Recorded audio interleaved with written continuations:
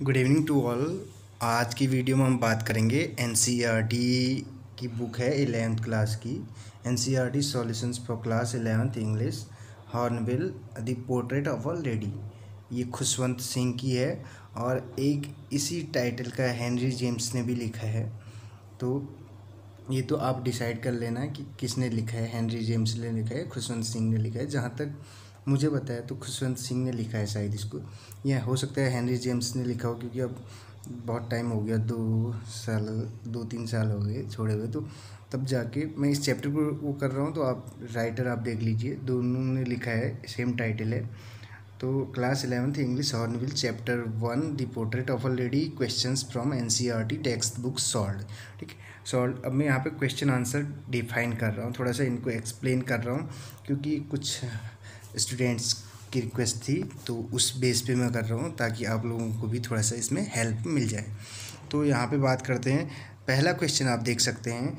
The three phases of author's relationship with his grandmother before he before he करना है यहाँ पे, ठीक है? Before he left his country to study abroad अब मैं इस क्वेश्चन को थोड़ा समझाता हूँ, ठीक है?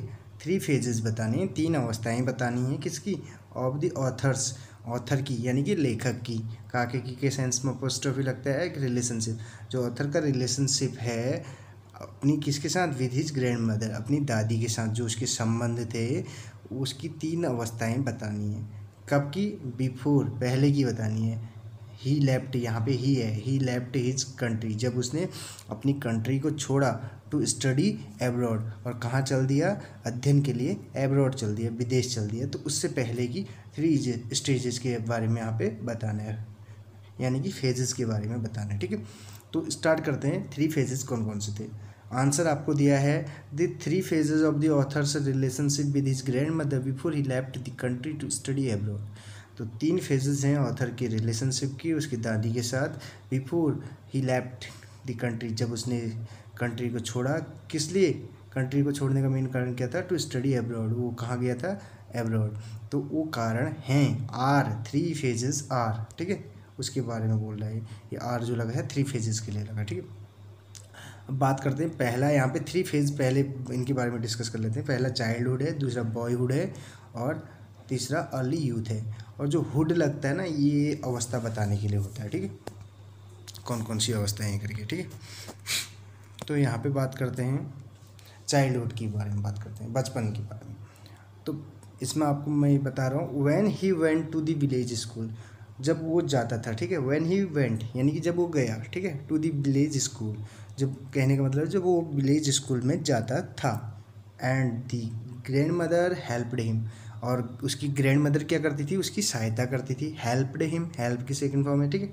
टू गेट रेडी तैयार होने में।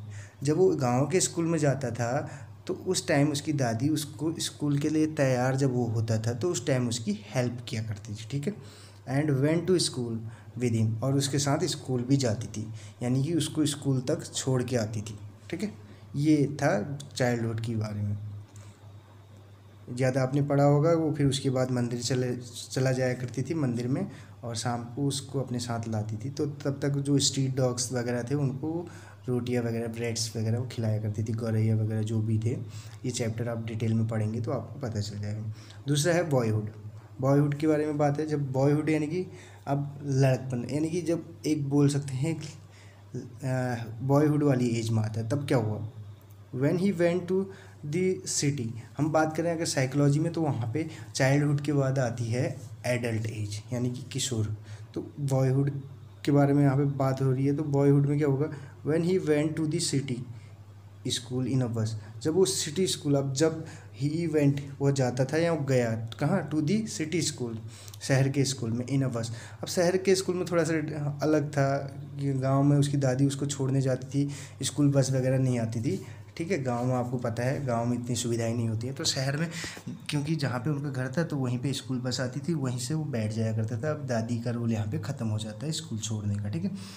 अब बाद में क्या करता है? He shared a room with grandmother लेकिन उसके बाद बावजूद भी वो क्या करता है? ही शेयर्ड उसने साझा किया रूम अपने कमरे को। किसके साथ? विद ग्रैंड मदर यानी कि दादी के साथ शेयर किया। दोनों एक ही कमरे में रहते थे कहने मतलब। But she could no longer help him अब लेकिन जो उसकी दादी थी सी ये could no longer help him वो उसकी ज़्यादा लंबे समय तक सहायता नहीं कर सकी। इन हिज स्टडीज़ उसके अध्ययन में, ठीक है? ऑथर की जो पढ़ाई थी, अब उसमें वो हेल्प नहीं कर पाई, ठीक है? ज़्यादा लंबे समय तक। क्योंकि वहाँ पे जो सब्जेक्ट थे, वो बहुत अलग टाइप के थे। गाँव की शिक्षा अलग थी। गाँव में धार्मिक यानी कि रिलीजन रिलीजियस थी जो भी शिक्षा वो लेते थे। और उसमें गॉड के जो स्क्रिप्चर्स थे, ग्रंथ थे, उनके बारे में बताया करती थी, कहानियाँ सुनाया करती थी। तो यहाँ पे ऐसा कुछ नहीं था। यहाँ पे उसके सब्जेक्ट अलग थे। अभी तीसरे वाले में आप देखना अर्ली यूथ अर्ली यूथ के बारे में बात होती है तो यहाँ पे क्या होता है यूथ का मतलब जवानी से होता है अर्ली पहले कहने का मतलब when he went to the university अब जब यूनिवर्सिटी गया यूनिवर्सिटी की हो जाएगा उच्च शिक्षा के लिए हायर एजुकेशन के लिए कॉलेज स्टडी के लिए, ठीक है? तो was given and was given a room of own अब उसे दे दिया गया उसका एक अलग कमरा, ठीक है वहाँ पे? The common link of friendship अब जो कॉमन लिंक था उन दोनों की फ्रेंडशिप का, दादी और ऑथर के बीच वॉज़ स्नैप्ड अब वो कट गया, ठीक है? वो अलग हो गया, यानी कि टूट गया वो संबंध भी। तो ये था, ये थ्री फेजेस थी। कहाँ? जब वो स्टडी करने के लिए एब्रोड गया, उससे पहले। ही अब दूसरे क्वेश्चन की ओर बढ़ते हैं यहाँ पे। सेकंड क्वेश्चन है Hornbill class eleventh English question number two three reasons अब देखिए यहाँ पे थ्री रीजन तीन कारण why the author's grand mother जिसके कारण ऑथर की ग्रैंड मदर वॉज़ डिस्टर्ब्ड यानी कि परेशान थी व्हेन ही ठीक है ही स्टार्टेड जब उसने प्रारंभ किया he started going to the city school जब उसने शहर के स्कूल में जाना स्टार्ट किया ऑथर ने, लेखक ने तो वो तीन कारण बताने यहाँ पे, जिसके कारण उसकी दादी क्या थी, बहुत ज़्यादा परेशान थी डिस्टर्ब थी। आंसर यहाँ पे the three reasons why the author's grandmother was disturb when he started going to दिटी school तो तीन कारण हैं थ्री रीजन्स आर ठीक है? क्या क्या हैं वो कारण, जिनके कारण उसकी दादी परेशान थी? She hated western science and learning अब वो नफरत करती थी। कौन? उसकी दादी। वेस्टर्न साइंस से, यानी कि पश्चिमी जो क्या था? जो पश्चिमी विज्ञान था, जो साइंस था और लर्निंग यानी कि अधिगम, यानी कि जो सीखने की चीज़ें थी वहाँ पे लर्निंग की, उन चीज़ों से वो क्या करती थी? नफरत करती थी। उसे घृणा थी उन चीज़ों से, क्योंकि वहाँ पे कुछ अलग टाइप की एजुकेशन उनको दी जाती थी। अब जैसे वो चाहती थी कि उनको धर्म, ग्रंथ, ये गॉड से रिलेटेड इस टाइप की एजुकेशन दी जाए तो वहाँ पे ऐसा कुछ नहीं था। शहर के स्कूल में पूरा अलग। टाइप की एजुकेशन थी। She was pained pain means दर्द होना, उसे दुख था, ठीक? She was pain to know ये जानकर that there was no teaching वहाँ पे कोई भी टीचिंग नहीं थी, किसी भी प्रकार का कोई शिक्षण नहीं होता था। किसका? Of God and scriptures there's यानी कि भगवान का और उनके धर्म ग्रंथ जो हैं, यानी कि जो वेद, पुराण, इस टाइप के जो इनका अध्ययन होता था, वो इस टाइप की टीचिंग वहाँ पे नहीं थी। ये जानकर उसे बहुत, वो दुखी थी। दो कारण थे जो डिस्टर्ब होने के। तीसरा कारण क्या है, ये आप जान लेते हैं यहाँ पे। तीसरा कारण है कि she was allergic to music उसे उस संगीत से भी क्या थी? एलर्जी थी। यानी कि पसंद नहीं करती थी वो जो वहाँ पे म्यूज़िक चलता था। She thought it was not meant for decent people and gentle folk उसे लगता था, ठीक है? क्या लगता था? It was not meant for decent people यानी कि ये उच्च कुलीन लोगों के लिए नहीं था। ये म्यूज़िक जो था। एंड जेंटल पावर जो सज्जन लोग होते हैं उनके लिए ये म्यूज़िक बिल्कुल भी नहीं था ऐसा उस उन, उसकी दादी का मानना था ठीक है? ऐसा उसकी दादी को लगता था। इट वॉज़ दी मोनोपोली ये क्या था? एक एकाधिकार था। मोनोपोली का मतलब होता है मोनो का मतलब एक पोली अधिकार से मतलब। ये क्या था? एकाधिकार था। किसका? Of prostitutes and beggars prostitute बोलते हैं वैश्याओं का। और एंड बैगर्स और भिखारियों। अब मैं इसको ऐसे समझाता हूँ, जैसे आजकल जो फिल्मी, जो गाने वगैरह चल रहे हैं, जैसे जिसमें अश्लीलता वगैरह दिखाई जाती है तो इस टाइप का जो म्यूज़िक था, उसका मानना था कि ये जेंटल पीपल या डिसेंट पीपल और जेंटल फॉक के लिए नहीं है, सज्जन लोगों के लिए और चुकुलीन लोगों के लिए नहीं है। ये किसके लिए है? ये सिर्फ़ एक मोनोपॉली है एकाधिकार है प्रोस्टिट्यूट्स वैश्याओं का और भिखारियों का। ये उनका मानना था, ये तीन कारण थे। अब नेक्स्ट क्वेश्चन यहाँ पे Hornbill class eleventh question number three देव अब देखिए यहाँ पे थ्री वेज तीन वो तरीके या वो कारण in which the author's grandmother जिसके कारण जो ऑथर की ग्रैंड मदर थी spent her days after he grew up यानी कि उसकी दादी ने अपने दिन व्यतीत किए आफ्टर ही ग्रू अप जब वो बड़ा हो गया, यानी कि ऑथर जब ऑथर का पालन पोषण किया, जब ऑथर बड़ा हो गया तो उसके बाद वो तीन से कौन से वेज थे जिन को फॉलो करते हुए उसकी दादी ने अपने दिन व्यतीत किए, ठीक है? अपना टाइम व्यतीत किया। तो आंसर यहाँ पे है the three ways in which author's grandmother spend author की ग्रैंड मदर ने व्यतीत किए हर डेज़ अपने दिन आफ्टर ही ग्रो अप जब वो बड़ा हो गया था। वो तीन कारण हैं थ्री वेज आर ठीक है? तो तीन तरीके कहने का मतलब कारण ना बोलें तो तीन तरीके, तीन रास्ते। वेज का मतलब रास्ता होता है ना, तीन तीन जो तरीके थे उनके अपनी लाइफ को जीने की।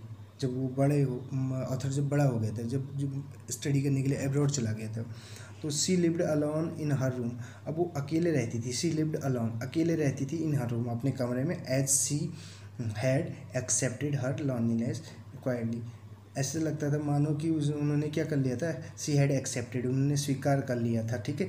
हर लॉनलीनेस अपने अकेलेपन को क्वाइटली शांतिपूर्वक, ठीक है? अब अकेला रहना उन्होंने पसंद कर लिया था, अपने कमरे में अकेली रहती थी। She sat at her spinning wheel अब वो क्या करती थी? बैठती थी अपने स्पिनिंग व्हील पे, जो स्पिनिंग यानी कि स्पिन करने वाली, घूमने वाली जो व्हील थी, यानी कि चेयर पे। और क्या करती थी? रिसाइटिंग प्रेयर्स और वहाँ पे प्रेयर्स गुनगुनाया करती थी रिसाइट करती थी, ठीक है? यानी कि भजन गाया करती थी प्रेयर्स गाया करती थी। थर्ड पॉइंट है इन दी आफ्टरनून अब दोपहर के समय में क्या करती थी? सी वुड फ़ीड वो खिलाया करती थी, ठीक है? सी वुड फ़ीड खिलाया करती थी। किसको? दी स्पैरोज को। गौरैया वगैरह जो होते हैं, उनको खिलाया करती थी, दाने वगैरह, ठीक है? फॉर हाफ़ एन आवर किस, कितने टाइम के लिए? आधे घंटे के लिए। तो ये थे तीन जो तरीके थे जिस, जिसकी सहायता से वो अपने टाइम को व्यतीत करती थी, जब ऑथर बड़ा हो गया था, ठीक? तो कैसे लगी आपको वीडियो ज़रूर बताइएगा। अगर ये आपके लिए हेल्पफुल है तो अधिक से अधिक इसको शेयर कीजिएगा, ताकि सारे बच्चों को इसका बेनिफिट मिल सके। और अगर आगे और चैप्टर्स पे भी क्वेश्चन आंसर को डिफाइन करना हो तो आप बता सकते हैं आप कमेंट बॉक्स के ज़रिए। ये बिल्कुल ना सोचिए कि सर, हमसे दूर हैं तो हमारी हेल्प कर पाएँगे, नहीं कर पाएँगे। तो मैं अपनी तरफ़ से जितनी कोशिश, जितना मतलब हो पाएगा, मैं अपनी तरफ़ से कोशिश करूँगा। थैंक यू सो मच मिलते हैं अगली वीडियो में।